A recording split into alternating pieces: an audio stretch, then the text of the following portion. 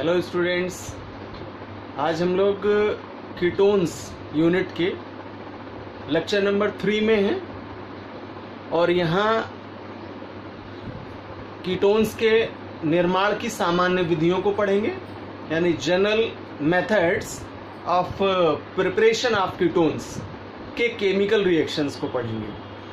और साथ ही साथ एरोमेटिक कीटोन्स के नॉमिनेशन फॉर्मेशन रिएक्शंस को भी स्टडी करेंगे पार्ट टू क्लास में हम लोगों ने प्रिपरेशन मेथड्स के टू रिएक्शंस कंप्लीट किए थे, जिनमें से पहला था बाय एल्कोहलिक ऑक्सीडेशन एल्कोहलों के ऑक्सीडेशन द्वारा कीटोन्स का फॉर्मेशन एंड सेकेंड पढ़ा था एल्कोहलों के उत्प्रेरकीय विहाइड्रोजनीकरण द्वारा। अर्थात कैटलिस्ट के प्रेजेंस में एल्कोहलों का विक हाइड्रोजनीकरण कराते हैं, जिसके फलस्वरूप कीटोन्स प्राप्त होते हैं। तो आज हम लोग थर्ड नंबर मेथड से आगे के रिएक्शंस को स्टार्ट करेंगे। Now method is from carboxylic acid carboxylic अम्लों द्वारा कीटोन्स का निर्माण। तो कार्बोक्सिलिक एसिड्स का आइडेंटिफिकेशन है जिन ऑर्गेनिक कंपाउंड्स में C O O H group की प्रेजेंस हो। Single bond C O O समूह सी ओ ओ एच समूह की उपस्थिति हो। वे कार्बोक्सिलिक एसिड कहलाते हैं। तो यहाँ सामान्य कार्बोक्सिलिक एसिड का रिएक्ट डिफरेंट एल्किल ग्रुप के कार्बोक्सिलिक एसिड से कराते हैं। यहाँ पर आर लिया है एल्किल ग्रुप और यहाँ आर डेस लिया है डिफरेंट एल्किल ग्रुप के लिए। और यह रिएक्शन मैग्नस ऑक्साइड। की उपस्थिति में। नियर अबाउट 573 केल्विन टेम्परेचर पर पूर्ण होती है जिसके फलस्वरूप कीटोन्स मेन प्रोडक्ट के रूप में प्राप्त होते हैं। तो रिएक्शन का कॉन्सेप्ट समझते हैं और एग्ज़ाम्पल देखते हैं। जब twice molecule of carboxylic acid के स्टीम को यानी वेपराइजेशन प्रोसेस से इनके स्टीम बनाते हैं और एमएनओ मैग्नस ऑक्साइड की प्रेजेंस में नियर अबाउट 573 केल्विन टेम्परेचर पर हीट करते हैं। देन कीटोन्स प्राप्त होते हैं। और ये हायर मॉलिकुलर वेट्स के हैं, यानी उच्च अणुभार वाले कीटोन्स हैं। For example C H three C O O H ये आपका एस्टिक एसिड हुआ, जो कि कार्बोक्सिलिक अम्लों का सदस्य है। प्लस दूसरे कार्बोक्सिलिक एसिड मॉलिक्यूल में हम डिफरेंट एल्किल ग्रुप ऐड करेंगे। एच सी ओ ओ और आरडेस की जगह एडिट करेंगे सी टू एच फाइव तो ये हो गया आपका एथेनोइक एसिड, क्योंकि यहाँ दो कार्बन की उपस्थिति है, और ये हो गया प्रोपेनोइक एसिड, यहाँ थ्री कार्बन की प्रेजेंस है। Both are react with one and other in the presence of MnO at uh, 573 Kelvin temperature. After reaction CH3CO ये सिमेट्री इतनी हो जाएगी और यहाँ से वाटर मॉलिक्यूल का सबस्ट्रक्शन होगा H2O का। तो सबसे पहले हम सबस्ट्रक्शन दिखाते हैं H2O का और प्लस यहाँ से इतना पार्ट रिमूवल होगा कार्बन डाइऑक्साइड बन करके CO2 देन CO2 को रिमूव करा दें। और अब बचा के हमारे पास एक तरफ़ मैथिल ग्रुप है, दूसरी तरफ़ एथिल ग्रुप है और मेन फंक्शनल ग्रुप के रूप में कीटोन प्राप्त हुआ। तो फॉर्मूला होगा C H three C double bond O and C two H five अब यहाँ कार्बन की प्रेजेंस फोर है। टू थ्री एंड फोर तो ये आपका जो कंपाउंड बना, ये होगा ब्यूटेनोन तो इस प्रकार से कार्बोक्सिलिक अम्लों के द्वारा कीटोन्स का फॉर्मेशन किया जाता है now next method fatty acids के कैल्शियम साल्ट के ड्राई डिस्टिलेशन द्वारा, अर्थात वसी अम्लों के कैल्शियम लवणों के शुष्क आश्वन द्वारा कीटोन्स का निर्माण। तो एग्ज़ाम्पल लेंगे कैल्शियम एसीटेट का। फॉर्मूला होगा C H three C O O का whole taken two and C A इसे हम ओपन स्ट्रक्चर फॉर्म में रिप्रेजेंट करा दें।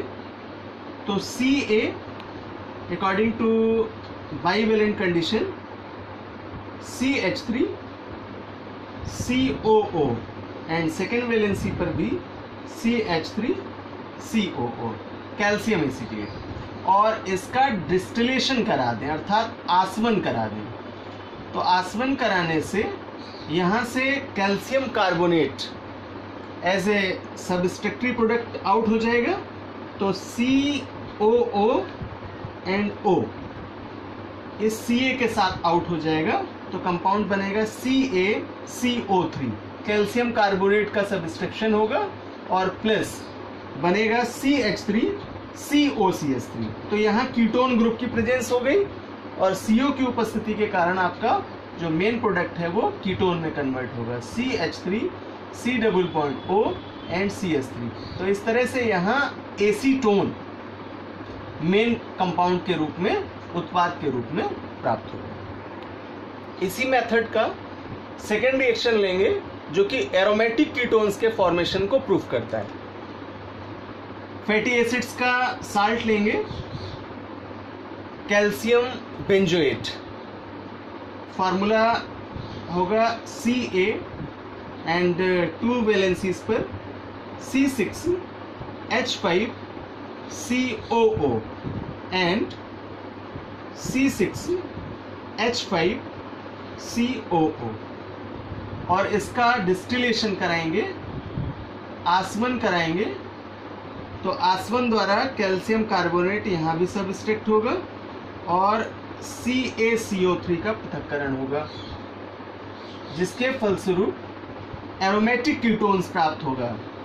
C six H five C double bond O and C six H five यह उच्च अणुभार वाला कीटोन होगा। इसे बेंजोफिनोन नॉमिनेट करते हैं। Now next method by organo cadmium compounds. कार्बोकैडमियम यौगिकों के द्वारा कीटोन्स का निर्माण। नाउ रिएक्शन एसिटिल क्लोराइड के ट्वाइस मॉलिक्यूल लेते हैं। C H three C O C L acetyl chloride का फॉर्मूला होगा। और इसका रिएक्ट कराते हैं ड्राई ईथर की प्रेजेंस में, यानी शुष्क ईथरों की उपस्थिति में डाईमेथिल कैडमियम द्वारा। यह क्रिया करके कैडमियम क्लोराइड को सबस्ट्रेक्ट करता है, यानी सी को पृथक करता है, और जिसके फलस्वरूप कीटोन प्राप्त होते हैं, और इस रिएक्शन के द्वारा एसीटोन का फॉर्मेशन किया जाता है। Now next method from Grignard reagent Grignard अभिकर्मकों द्वारा कीटोन्स का निर्माण।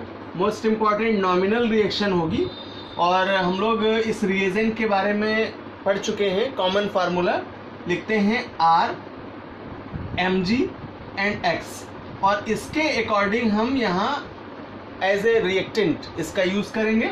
R for methyl and X for halogen तो हेलोजनों में क्लोरीन ब्रोमीन आयोडीन और मैथिल में C S three and C two H five ethyl के लिए यूज़ करते हैं। तो इसे रिएक्शन के माध्यम से समझते हैं। Reactant acetonitrile C S three C triple bond N plus react कराते ग्रिग्नार डिजन से R M G X C H three M G I name होगा मेथिल मैग्नीशियम आयोडाइड दोनों रिएक्ट करते हैं और सिमेट्रिकल होकर ये मध्यावयी यौगिक का निर्माण करते हैं, जो आफ्टर रिएक्शन हाइड्रोनियम आयन की प्रेजेंस में अमोनिया को रिड्यूस करता है, यानी NH3 को सबस्ट्रेक्ट करता है, और मैग्नीशियम हाइड्रोक्सी आयोडाइड का पृथककरण करता है। और जिसके फलस्वरूप यहाँ मुख्य उत्पाद के रूप में एसीटोन प्राप्त होता है। इसी प्रकार एरोमेटिक कीटोन्स के फॉर्मेशन के लिए भी ग्रेगनार्ड रिएजेंट्स के द्वारा इस रिएक्शन को समझते हैं। When benzonatril C6H5 C triple bond N. यहाँ स्ट्रक्चरल फार्मूले में है ये। मैथिल मैग्नीशियम ब्रोमाइड से रिएक्ट कराते हैं। In the presence of ether it makes mid components मध्यावयी यौगिक का निर्माण करता है, जो हाइड्रोनियम आयन या H प्लस और वाटर H2O की प्रेजेंस में सबस्ट्रैक्ट करता है। अमोनिया को NH3 रिड्यूस होती है और मैग्नीशियम हाइड्रोक्सी ब्रोमाइड पृथक होता है, जिसके फलस्वरूप यहाँ पर आपका एरोमेटिक कीटोन प्रोड्यूस होता है और इस एरोमेटिक कीटोन्स को एसिटोफिनोन कंपाउंड्स या इसे हम एरोमेटिक कीटोन्स कंपाउंड कहते हैं। और इसे नॉमिनेट करते हैं मोस्टली बेंजोफिनोन में। तो यह है एक प्रकार का उच्च अणुभार वाला कीटोनों का सदस्य होता है। तो इस प्रकार इस अभिक्रिया से प्राप्त एसिटोफिनोन का उपयोग मुख्य रूप से एज ए रिएजेंट करते हैं और बेंजोफिनोन के प्रोडक्शन के लिए भी इस कंपाउंड का मुख्य रूप से उपयोग किया जाता है। Next method from gem di halides gem di हेलाइडों द्वारा कीटोन्स का निर्माण। In reaction two comma two dichloropropane अर्थात दो परमाणुओं वाले हेलोजन परमाणुओं वाले जैम डाईहेलाइट को एज ए रिएक्टेंट यूज़ करते हैं और रिएक्ट कराते हैं एक्वस के ओ OH से पोटेशियम हाइड्रोक्साइड से, यानी क्षारी विलियन होगा बेसिक सोल्यूशन होगा पोटेशियम हाइड्रोक्साइड का। तो यहाँ से सबस्ट्रक्शन होगा twice molecule of potassium chloride K C L then compound आपका मध्यावही यौगिक के रूप में प्राप्त होगा। यह है जल अपघटन कराने पर, यानी हाइड्रोलिसिस द्वारा वाटर का सबस्ट्रक्शन करता है और यहाँ से H2O का रिप्लेसमेंट करता है। देन इसके बाद C और O सिमेट्रिकल हो जाते हैं कीटोन में कन्वर्ट हो जाते हैं और मुख्य उत्पाद के रूप में एसीटोन प्राप्त होता है C H three C O C S three next method from alkynes एल्काइनों द्वारा कीटोन्स का निर्माण। जैसा कि नाम है इसका एल्काइन अर्थात कार्बन और कार्बन के बीच में ट्रिपल बॉन्ड की प्रेजेंस होगी। तब यहाँ कंपाउंड्स को हम एल्काइन नॉमिनेट करेंगे। यहाँ थ्री कार्बन का सदस्य है, जिसको रिएक्शन में हमने लिया है, और नेम लेंगे प्रोपाइन तो मेन रिएक्टेंट के रूप में प्रोपाइन है। फॉर्मूला होगा C H three C triple bond C H react कराएँगे इसका वाटर से in the presence of H two S O four and H G S O four mercuric sulphate तो पहले ये रिएक्ट करके अस्थाई यौगिक का फॉर्मेशन करते हैं, और यहाँ से ये सिमेट्रिकल हो जाता है ओ OH का हाइड्रोजन इस कार्बन की सिमेट्री पर एड होता है। तो यहाँ बॉन्ड ब्रेक होगा। और CH2 CH3 में कन्वर्ट होगा. देन कीटोन समूह की उपस्थिति से acetone as a main product प्राप्त होगा और इस प्रकार एल्काइनो से कीटोन का फॉर्मेशन होगा. Now next method by reductive ozonolysis of alkenes अर्थात एल्कीनों के अपचयित ओजोनीकरण द्वारा. तो यहाँ एल्कीन मेन रिएक्टेंट होगा, अर्थात डबल बॉन्ड वाला organic compound as a reactant use किया जाएगा। तो आइए इसे रिएक्शन के माध्यम से समझते हैं। यहाँ ओजोनोलिसिस कराने की क्रिया में आइडेंटिफिकेशन है कि जब भी हम ओजोन से रिएक्ट कराते हैं देन ओजोनाइट कंपाउंड प्राप्त होते हैं उस सेक्शन को ही ओजोनोलिसिस रिएक्शन कहते हैं। As a reactant two comma three dimethyl but two ene reactant का ओजोनोलिसिस कराते हैं O3 द्वारा ओजोन द्वारा। In the presence of carbon tetrachloride CCl4 और ये रिएक्ट करके ओजोनाइट प्रोडक्ट का फॉर्मेशन करता है।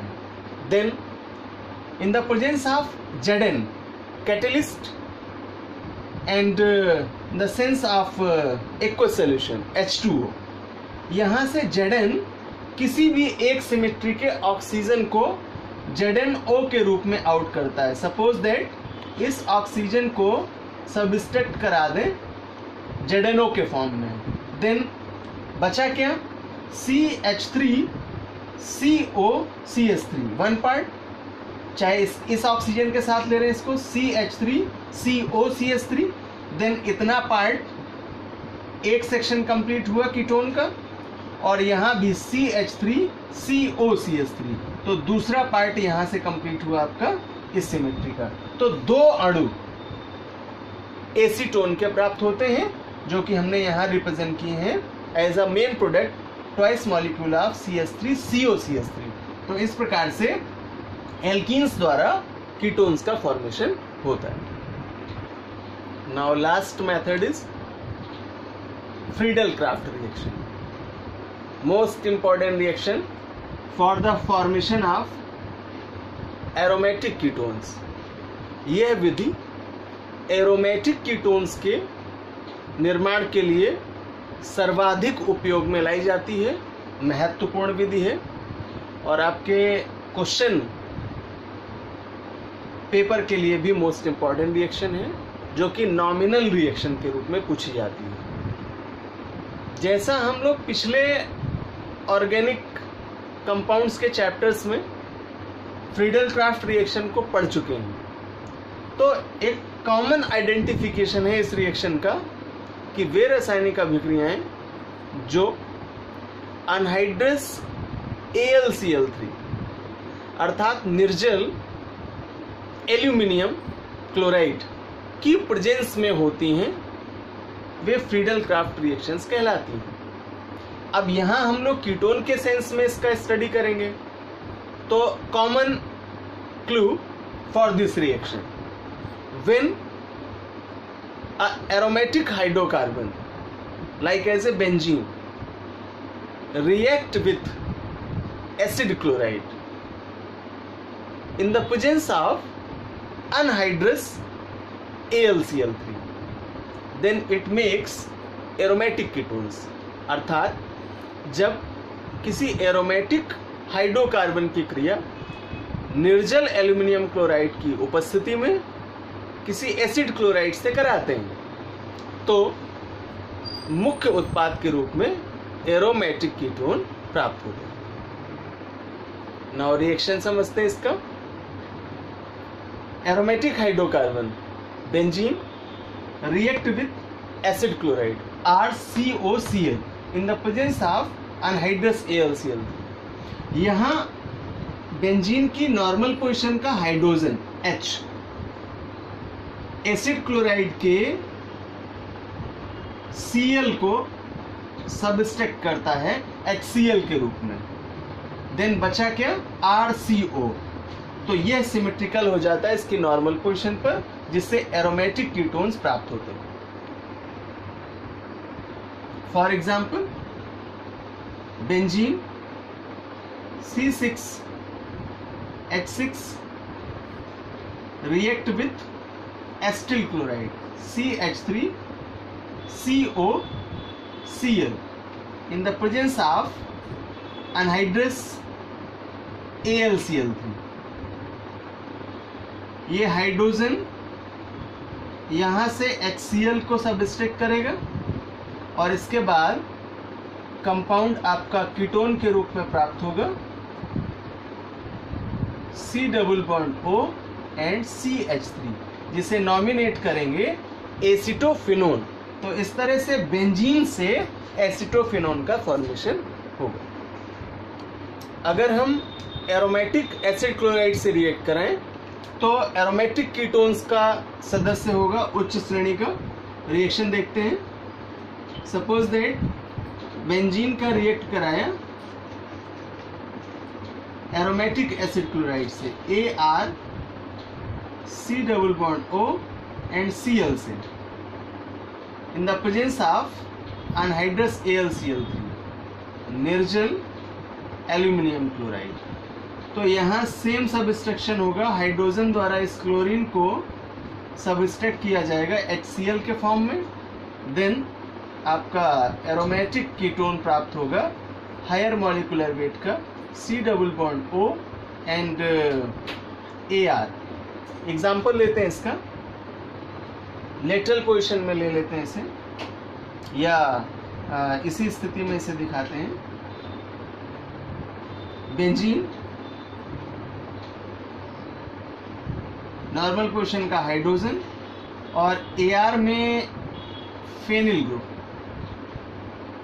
रिंग ही दिखा दें एरोमेटिक रिंग और इससे एडिट होगा C double bond O and single bond C L in the same presence of anhydrous A L C L